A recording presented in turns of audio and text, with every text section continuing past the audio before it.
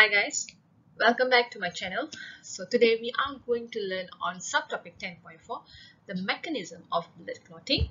And I hope you are ready with your paper and pen and let's do this.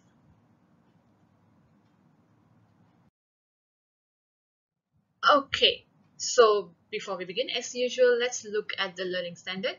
So in this chapter, uh, subtopic, you should be able to justify the necessity for blood clotting mechanism, means why blood clotting is important, and then describe the blood clotting mechanism, and describe health issues related to blood clotting, which is thrombosis, embolism, and hemophilia. Alright? Okay, now let's look at the necessity of blood clotting mechanism. Now, what is blood clotting mechanism? Blood clotting is actually a process by which the blood coagulates to form solid masses. Solid masses are like red blood cells, white blood cells, and also the platelets in a fibrin network. Alright, now the purpose of uh, blood clotting. What is the purpose of blood clotting? It actually prevents excessive loss of blood and sudden drop in blood pressure, which may actually cause death. Alright, it also prevents the microorganism entry and also the foreign particles into the body. And it also helps to form scab, which actually helps in wound healing. And lastly, it helps in maintaining blood circulation in a closed system. Okay, now let's look at the mechanism of blood clotting. Now, if blood vessels are wounded, okay, the collagen fibers in the wall of the vessel the collagen fibers in the wall of the vessels will be exposed to the blood. Platelets will be activated and they will become quite sticky. So when they are sticky, they will stick on the exposed collagen fibers to form coagulated platelets. Okay, or we call it as plaque. Now, then what happens? Now, the coagulated platelets will actually release enzyme. We call it as thrombokinase or we call it as thromboplastin. Okay, thromboplastin here. So now with the presence of calcium ion and also vitamin K, the thrombokinase will actually convert the prothrombin and inactive uh, protein okay into thrombin so it will be activated the thrombin will be activated prothom prothrombin is just relaxing you know having fun no issues and no problems and then you know blood clots has to start to work so when it start to work thrombin will be activated through thrombo plastin with the help of uh, calcium ions and also vitamin K. So this all happens in the plasma. Now, thrombin is an active enzyme which catalyzes the conversion of fibrinogen, a soluble protein which is soluble, is just you know flowing nicely, okay, and into fibrin. So fibrinogen will be converted into fibrin. Now it's from soluble to insoluble. You know you have to be insoluble so that it can actually form a network of uh, protein fibers on the wound surface to trap the blood cell and form a blood clot. Okay, so you can see here, um, sorry, you can see in the third picture here where the blood clot is formed, the fibrin uh, network is produced. Okay, and um, so now uh, form a network, blood vessel, form a blood clot and close the wound. Okay, so here when the blood clots serum, uh, which is a blood plasma without fibrinogen, will be seen flowing out of the wound in the form of clear yellow fluid. Okay, so you can see your uh wound becomes very yellowish.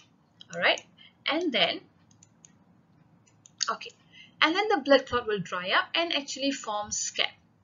Okay, the wound will uh, heal under the scab. So the scab actually helps wound healing. So it prevents any other microorganism from entering through your wound. Okay.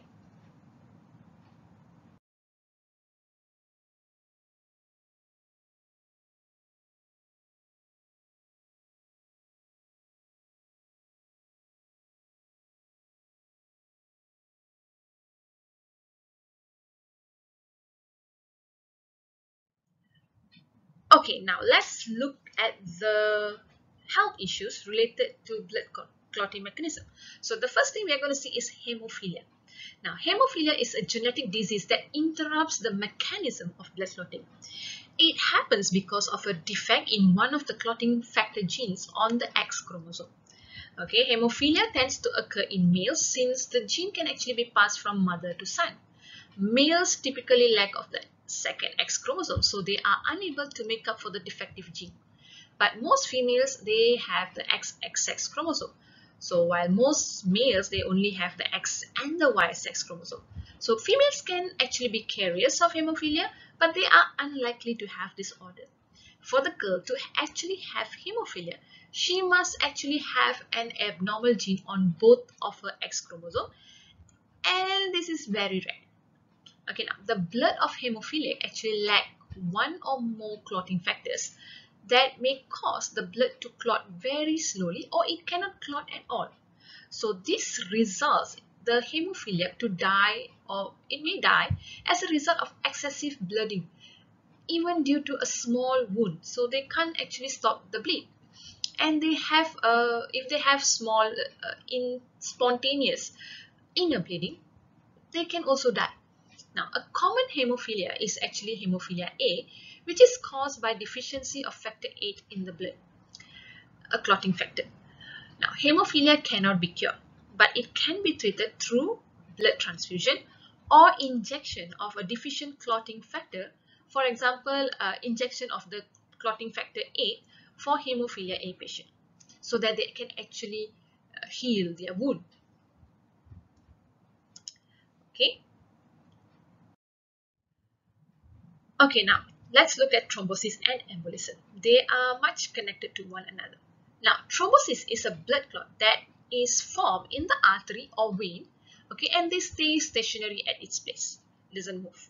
Thrombosis happens when the formation of thrombus in the blood vessel interrupts the blood flow in the artery and also the vein. Okay, now embolism is a thrombus that moves and is carried in the blood flow. Okay, so you can look at the picture. So this is an embolus. Alright. Now embolism happens when embolus gets stuck in a tiny blood vessel and blocks the blood flow. Okay, now thrombosis is triggered when the wounded cells in the blood vessel produces thrombokinase and starts the process of blood clotting. Now, the defect on the inner surface of the wall of the blood vessels or a blood flow which is too slow may pile up the clotting factor and then start the process of blood clotting. Now, effect of thrombosis and embolism. The blood clot is which is blocked in the artery will actually prevent the blood flow and stop the oxygen supply into the tissues and also around that area. Okay, now if a blood clot is formed in the coronary artery, the cardiac muscle may be damaged and cause heart attack. Yep, alright. And um, if the blood clot prevents the blood flow to the brain, a stroke may happen and the victim may be paralyzed.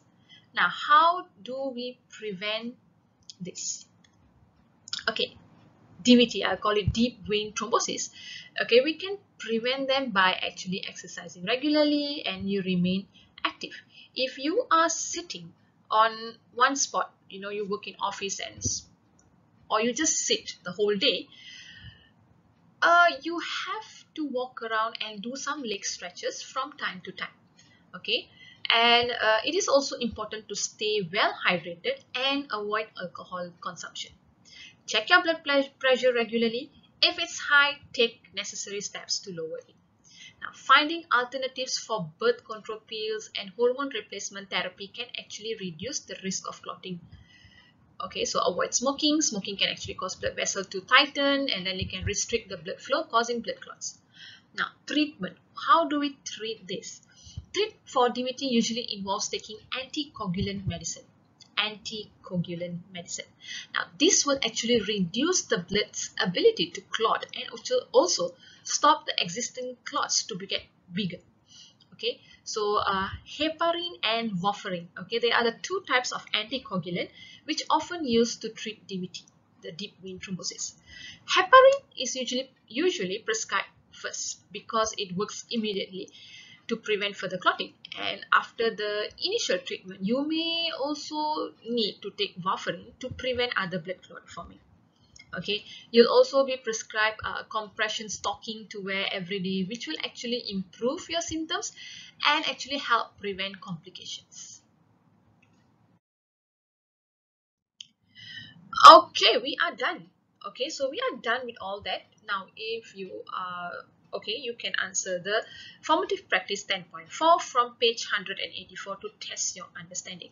Now, the question asked here is number one, at the end of blood clotting mechanism, fibrin will be formed to trap erythrocytes, the red blood cells. Now, explain the meaning of fibrin and its function. Explain okay and then describe two health issues related to blood clotting already described earlier so if you can remember put it down now explain the mechanism of blood clotting okay the chart is given there try to do it and explain why the formation of blood clots in the blood vessel can actually cause heart attack yeah also already mentioned in the slides so go through learn again uh, revise, make your notes and answer this question. Make sure you answer without any reference so you know whether you understand the topic or not. Alright, so uh, the answers will be given in the description box below. Uh, yeah, I think that's all. So once you are done with all that, I will end my video here. Thank you for watching and please do not forget to like and subscribe my channel. Bye-bye.